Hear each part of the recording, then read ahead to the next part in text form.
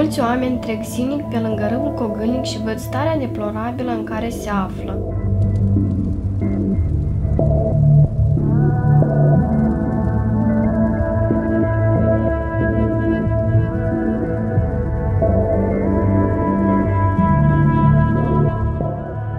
Totuși, majoritatea rămân indiferenți, iar unii chiar agravează starea râului prin poluare.